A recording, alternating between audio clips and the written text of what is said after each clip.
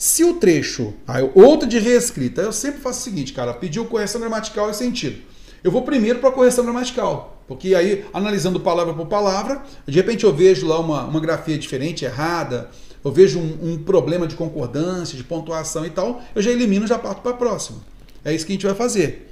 Então, olha só. A Petrobras responde por cerca de 80% dos combustíveis ofertados no Brasil.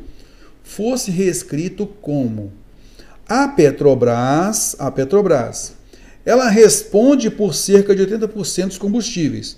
Ela está à frente de aproximadamente 80% dos combustíveis. Cara, responde por cerca de 80% e está à frente de aproximadamente 80% é, dos combustíveis, eu não vou dizer que há uma mudança de sentido. Concorda comigo? Cabe, né?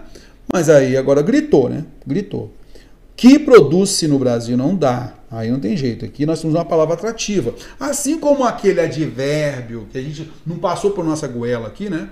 Assim como aquele advérbio assim é, é fator de próclise, o pronome relativo também é fator de próclise. Então, aqui nós temos a obrigação de que se produz e não que produz-se. Então, há um problema de correção gramatical errada a afirmação.